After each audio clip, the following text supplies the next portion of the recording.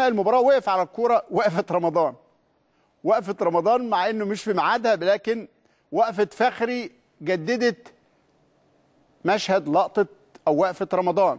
حصل آه توتر في الملعب حصل ضرب حصل اشتباك بين اللعيبة. هنا الكلام لو هتكلم عليه بشكل مجرد حتى وإن كانت دي مهارة.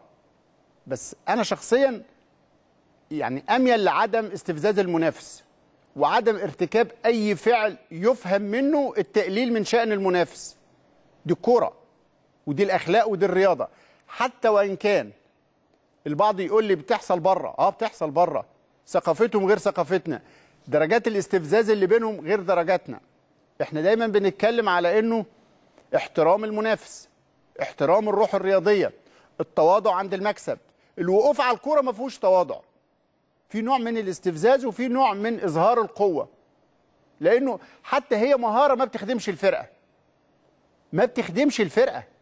فأنا شخصيا لا أتمنى إنه فخري أو أي لاعب كسبان يقف على الكورة في نوع من إظهار القوة والسيطرة والتفوق على المنافس أو التقليل من شأنه.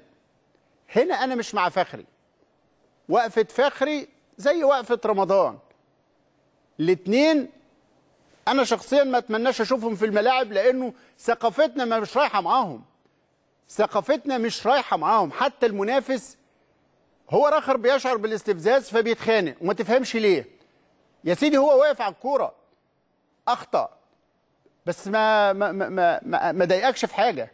ما ارتكبش أي فعل يخليك تضرب وتخرج على النص وقدام الحكم.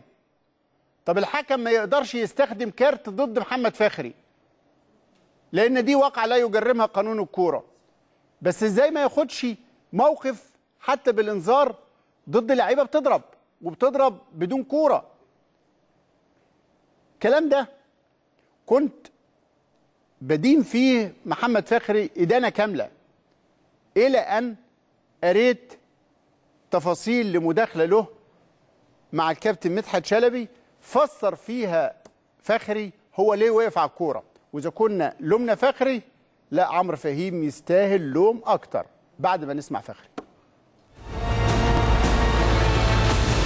لما كنا كاسبين 1-0 اللعيبة كانت دايما. بتوع الزمالك كان في دايما اللعيبة بتوع إصابات وكده. فوالله العظيم أنا طلعت الكورة يعني قبل ما أرفع الكورة دي مثلا يجي ثلاث مرات. آه.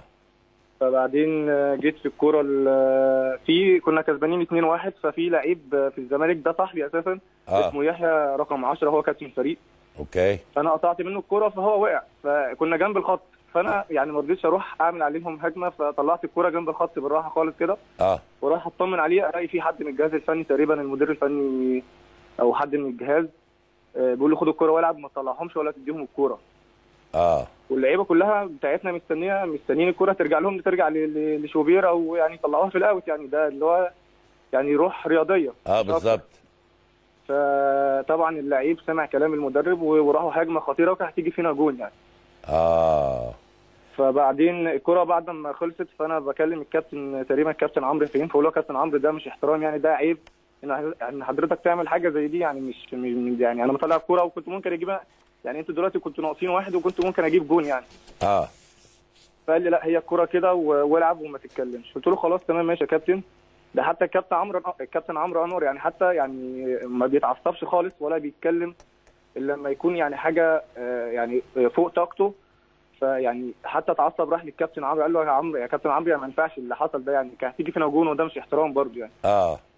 فكان حصل حاجات يعني بره الملعب وكده وبعدين آه، فأنا ما ردتش الصراحة. فأنا أنا ردي بيكون في الملعب بس فاستنيت أما في آخر دقيقة تقريبا فلقيت الكوره جاية لي فطبيعي يعني. وبعدين دي مهارة دي ما لهاش علاقة مثلا إن أنا بتمنظر أو بعمل حاجة مش كويسة يعني. دي دي دي مهارة عادية خالص. دي مهارة عادية خالص. وقفة فخري أرحم بكتير مع رفضنا ليها من مصيبة فهيم. عمرو فهيم لعيب. لعيب دولي. لعب في الزمالك ولعب في الإسماعيلي والمدير الفني لفرقة شباب الزمالك. يا جماعة وانتوا بتدربوا الناشئين خدوا بالكم إن أنتوا بتغرسوا قيم الروح الرياضية.